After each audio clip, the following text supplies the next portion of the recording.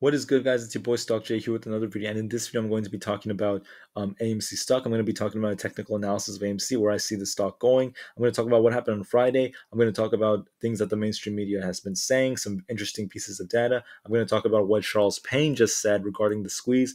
And I'm going to end by talking about my prediction for Monday and the upcoming future for AMC. With that said, then I'm going to do a very, very brief technical analysis. For my technical analysis, I'm going to talk about where AMC actually went and what actually happened towards towards the end. And before I get started, guys, I have to mention one quick thing. First of all, I'm not a financial, legal, or taxation expert, so don't take this as financial, legal, or taxation advice. This is all for entertainment purposes only. Also, if you can, please smash that like button if you want to see more videos like this. It not only benefits me, but benefits the entire ape community as a whole. All right, guys, so let's get on with the technical analysis. All right, AMC started down low at the $31.88 range and where it tested the $32 line of support. It did have a good, good, good run up to the $34 range and it did test that level of resistance before it began to drop and test the 33 now what happened well, we know that AMC had a strike price. It had over 30,000 call options with a strike price of $34 a share. And the hedge funds had to do whatever they can to bring it below that because they did not want to see that happen. You also have to account for the amount of day traders that come in and the people that have been paper handing. So that may play a small role, but I think that the big role came from the fact that there has been so many things going on, considering that 14 million shares were borrowed and shorted just on Friday. And that's why the short interest was up to almost 20%, which is absolutely insane. The, the stock has been heavily, heavily shorted, 19%. 19.03% short interest. That's crazy. The utilization has gone a little bit down, but the shares on loan did go up to 111 million. That's insane by what has been going on. So you can't forget about the fact that 66% of the trades on AMC are happening on these dark pools. Now, 66% is a very, very high number because we're super used to seeing 60 to 70%. We see it all the time, and we obviously become accustomed to seeing this and becomes a lot more normalized. But you have to remember that that's absolutely insane. AMC is being heavily, heavily shorted and attacked, and that's the reason why it is reacting the way it is. You could clearly see that there was an attack, a short ladder, a miniature short ladder attack that happened right over here, where AMC tested at $33.50 uh, it ended up closing around there and it tested the line of resistance right over there. There are many, many lines of resistance just around there that AMC has been touching and testing. And that actually is very, very good at the same time because if anything, it shows that we are winning. We are actually still winning. Remember, guys, we look back at the six month chart Overall, AMC is still up. The short positions came when it was about 10 to $8 a share. That's when the hedge funds created these positions, and we are still up and winning the war. You may be down on your money. I truly, truly understand. In fact, I'm down. I did dollar cost average and a little bit upward from when I initially invested, and my my average price would be around the 38 maybe 36 dollar range somewhere around there that's my average and yeah i mean i i totally understand because if you're down on your money, it's frustrating, it's tough, but I kid you not, guys, there are many, many bullish, bullish indicators. So one of the bullish indicators would be the utilization of the stock that's approaching the $100 range. When utilization goes up and becomes a lot harder for lenders to lend out shares, and it limits their ability to do that, which makes it a lot more bullish in the future. That's a really, really good sign for the apes as utilization has been going up. And it's also a really, really good sign for uh, something bad to happen to short sellers, so to speak, because they do not like utilization going up.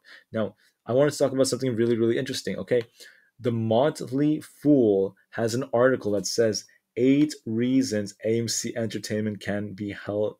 AMC can head back to its February low, and that is very, very interesting. They just released this article a few days ago, and they're saying that AMC is probably going to go down. You know, there's so much FUD out there. So let me let me tell you something really interesting, okay?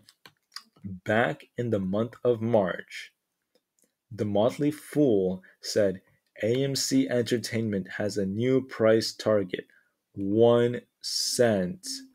Could movie theater chain AMC lose 99.9% of its value in the next 12 months?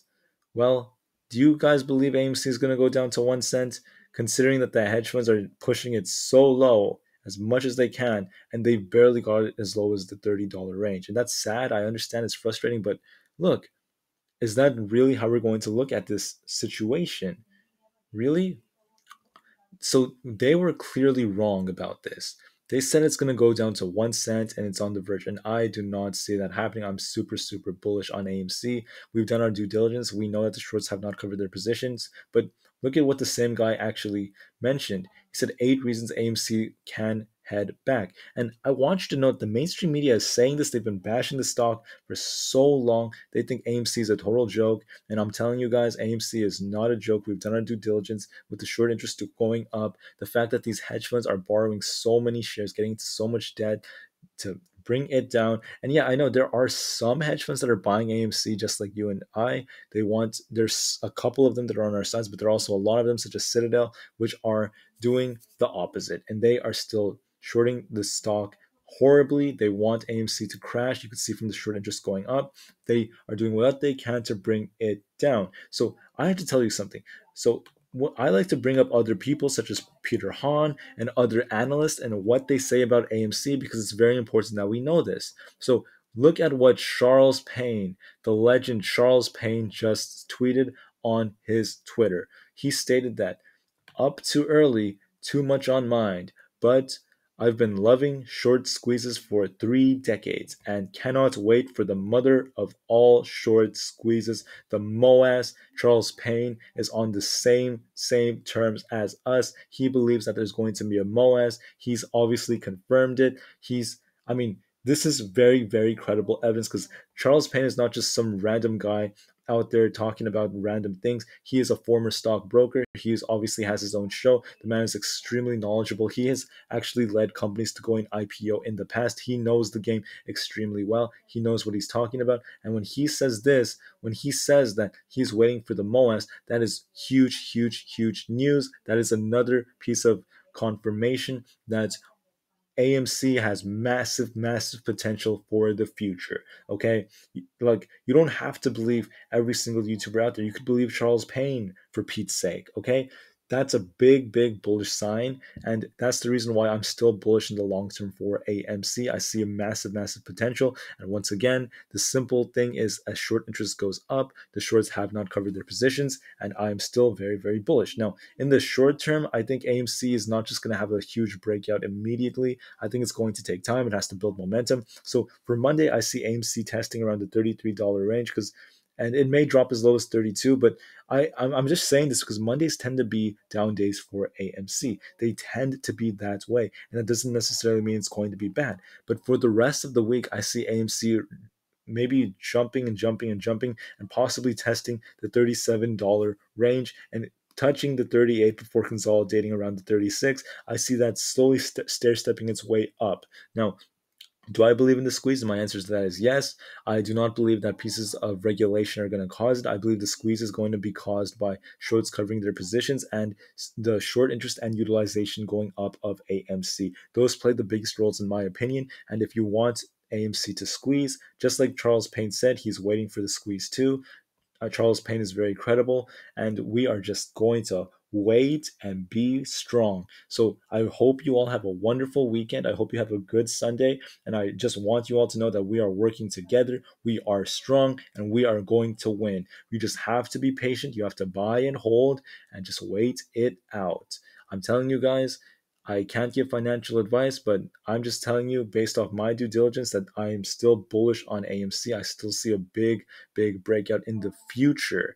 In the future, in the upcoming weeks, if not a month or so away, I do see a breakout. It may not happen immediately. It may make you feel sad, but it's okay, guys, because you have to put your emotions aside and you cannot give up. We are so far in and we are going to win. So, thank you so much for listening, guys. I will see you on Monday, and I really, really hope you have a great weekend you stay strong. AMC is going to Pluto and peace out.